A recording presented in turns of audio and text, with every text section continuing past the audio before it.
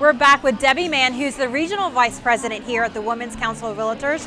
Thanks for joining us today. Thanks for having me. So you've been to the Kentucky Derby before. I have and I love it. so this is, you knew exactly how to dress for this fashion show event. Absolutely. so we're joking a little bit about the Kentucky Derby, but this is actually a really important cause because it's a networking event for the Women's Council of Realtors and you guys do so much for the industry. Tell us what your organization does.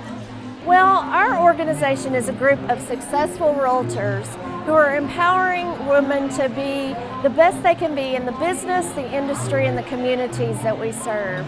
So it's very important for us not only to be professional, but to lead other professionals in this business, to uh, be brokers, to be owners, uh, to really set the standard for professionalism in the industry. And so it's important for the consumers to know that there is a difference in realtors. I mean, everybody knows a realtor, but not all realtors are the same.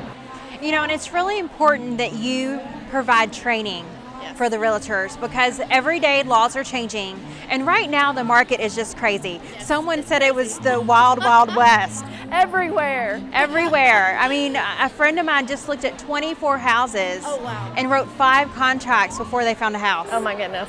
Yes, I mean it is and it's important to be knowledgeable of that market and we strive as Women's Council of Realtors Network to not only provide that education for our realtors, to make sure that they understand that the professionalism is in knowing your market and leading that market forward. Thank you so much for joining us, Debbie. We really appreciate it. Thank you. Appreciate you having me. We'll be back with more Your Kentuckiana Home in just a Home